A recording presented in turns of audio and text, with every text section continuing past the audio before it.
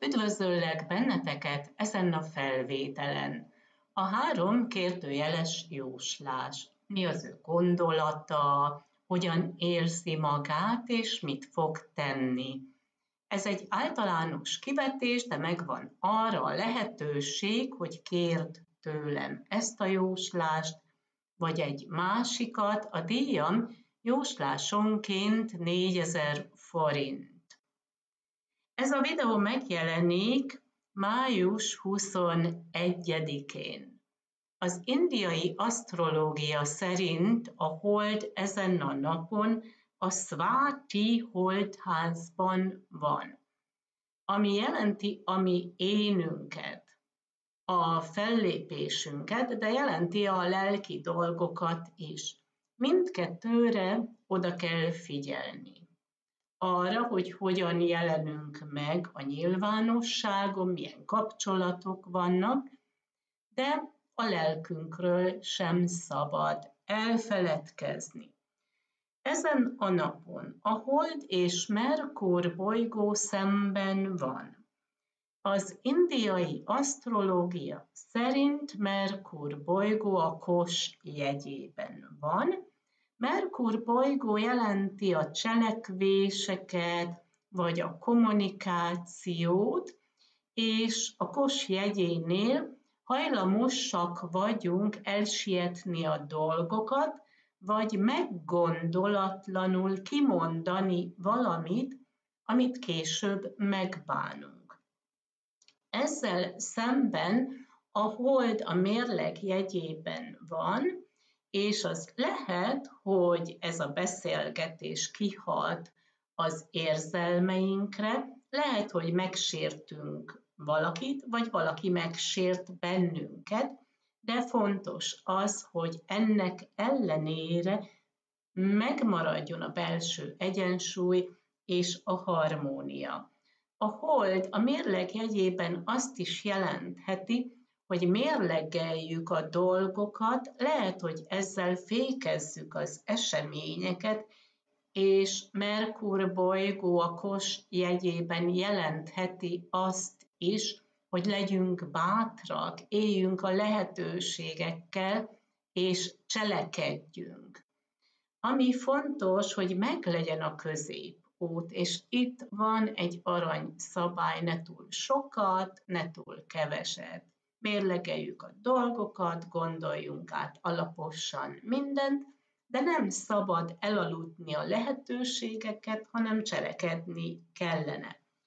Az indiai asztrológia szerint Uránusz bolygó a határon van, hamarosan elbúcsúzik a Kos jegyétől, és áttér a Bika jegyébe. Uránusz bolygónál változásokról van szó. Lehet, hogy most még itt a határ, és vannak korlátozások, nem tudunk változtatni bizonyos helyzeten, de felkészülhetünk már most a változásokra, ami így a következő hetekben, hónapokban meg fog történni. És most megnézzük, hogy mit mutatnak a kártyák az ő gondolata felül látható.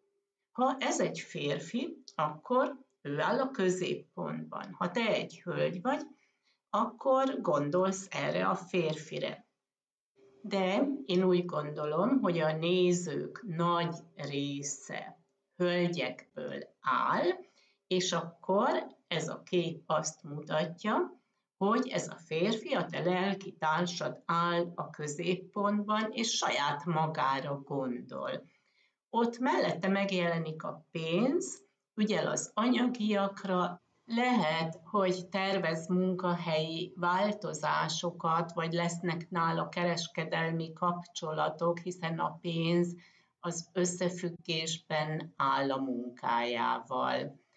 Amit a pénz ott mellette még jelenthet szimbolikusan, ezek az értékek, hogy elvárja azt, hogy kimond azt, kimutasd azt, hogy ő értékes számodra. Ami az érzelmeit illeti, az bal oldalon látható a viták, a veszekedések, a kihívások, és ott a tolvaj.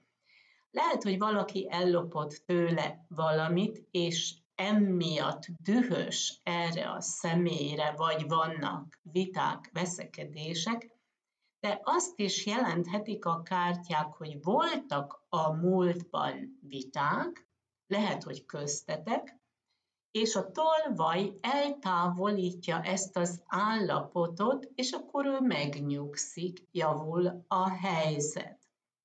Milyen lépéseket tesz irányodba, az jobb oldalon látható a vesztesség, az jelentheti azt, hogy valaki ellopott tőle valamit, és ő elmondja neked azt, hogy ő ezt elveszítette.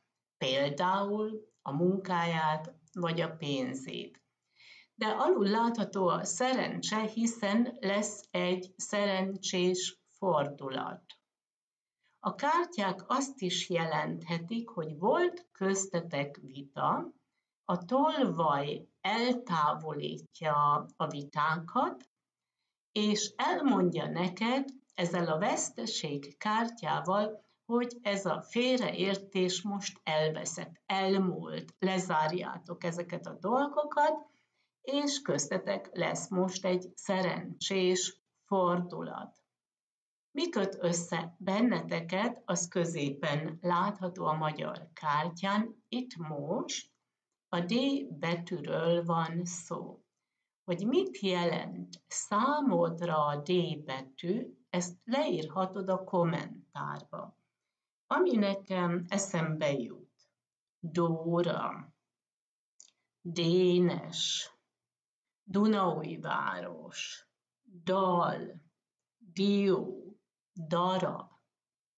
Középen van a régi írásmód, az úgynevezett rovás írás, ez olyan, mint egy kereszt, szimbolikusan jelenthet egy találkozást, amikor a sors utatok kereszteződik.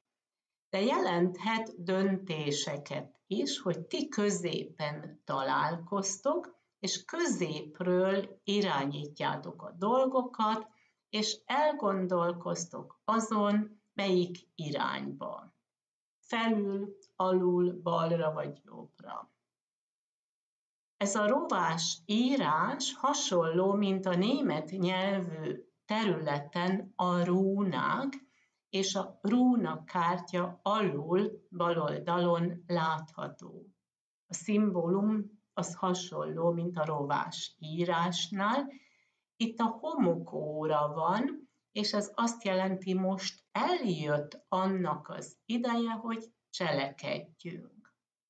Jobb oldalon alul a hölgy mutat a napi energiára, otthon van, ott ücsörög a cicájával, kipiheni magát. Lehet, hogy szükségünk van pihenésre, vagy legyünk visszahúzódóak, kicsit várakozóak, de a homokóra azt közli, hogy ne ücsörögjünk sokáig, hanem álljunk fel, és legyenek cselekvések. Ez hasonló, mint a Hold és Merkur bolygó kapcsolata, ahol szemben állnak most egymással, itt tükröződik valami, a hold az várakozó, mérlegeli a dolgokat a mérleg jegyében, Merkur bolygó a kos jegyében viszont szeretne cselekedni, türelmetlen is. Itt mérlegelni kell azért a dolgokat, hogy mi fontos, még várakozni, mérlegelni a dolgokat, vagy cselekedni attól függően, hogy milyen helyzetben vagyunk. Bizonyos helyzetekben jó, ha azonnal cselekszünk, de van olyan helyzet, ahol inkább okosabb lenne kicsit még várakozni.